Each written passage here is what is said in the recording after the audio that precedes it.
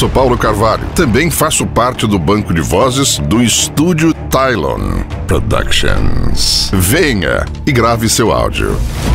Prepare suas emoções.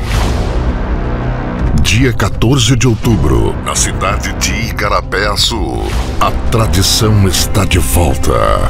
Festa da Cerveja.